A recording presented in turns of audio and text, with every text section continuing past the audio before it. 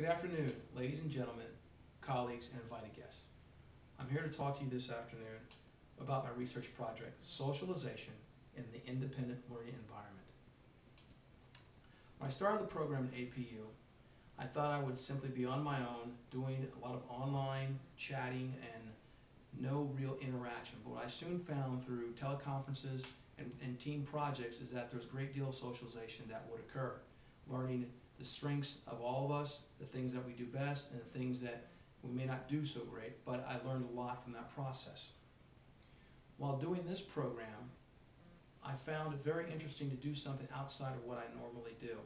And while coaching at the local high school, there was a young man who was in the local high school's independent homeschool program. And I found it very interesting about how he socialized with his teammates and how he found it very effective in taking a couple of classes on campus and then doing his schoolwork outside of, outside of campus. The literature that I reviewed, there were a lot of scholars who talked about the pros and cons of the socialization and home independent study program. Some were pro in that kids were able to socialize because they were dealing with adults and younger kids at the same time while not just being locked in the classroom with, with their peers of their own age. Others argued against it, stating that the school is the place where socialization must occur, not simply out and about in independent programs where you're by yourself. And their view of the world was that you were alone and you didn't learn anything from that as far as socialization was concerned.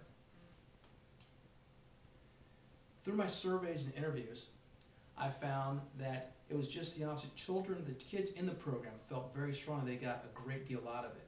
They were able to socialize, meet friends, meet people that, that they normally would not meet because some of these people in the program are, are ballerinas, they're gymnasts, they're actors, they are, some of them are professional athletes, yachtsmen, and so these kids have an opportunity to meet all kind of people, and so they actually may have a better opportunity in their eyes to socialize with people worldwide as opposed to being locked into a simple classroom.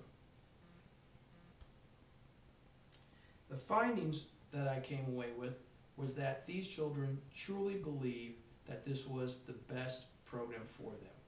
The difficulty throughout in, in coming to these findings was being able to ask concise questions that addressed each issue specifically so that the, in, the people involved in the, pro, in the program were seeing the question for what it was and not leaving a lot of room for them to to go here or go there, but stay very, very on point with what was being discussed. Academic tutorials were one of the things that were provided for weekly socialization, opportunities for these students. It was an optional activity that each student could participate in with their own choice, and the and teachers participated, and it was felt as a very positive atmosphere for the students involved. Each child began to make new friends. They were ranging from the third graders on up to the high school kids, and it became a regular activity for these kids to come and socialize and grow closer and closer together.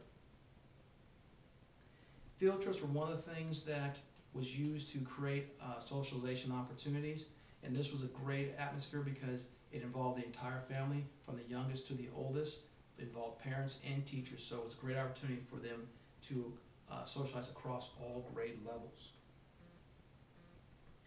So as you can see, the students would meet for field trips. and As you can see here, we have students from the third grade on up to high school. So you have a broad range of ages, including the teachers who obviously are moms themselves and enjoy the field trips also.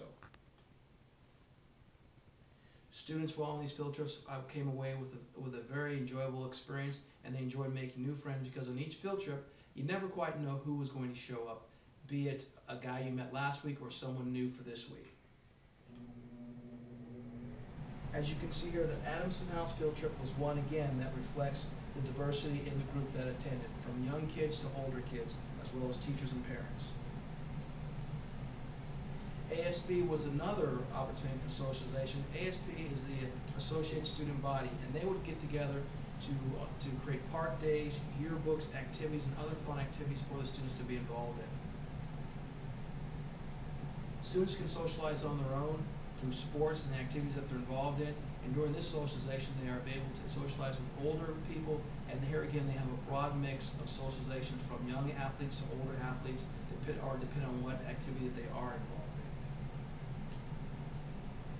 Students are encouraged to take courses at the high, at the local high schools as well as the community colleges, so they can begin to learn and experience the, the socialization that comes along with being in a, in a traditional classroom. Suggestions, there should be more tutorial opportunities, more field trips for students to go on, and we recommend the students have more lectures at the high school or at the college levels.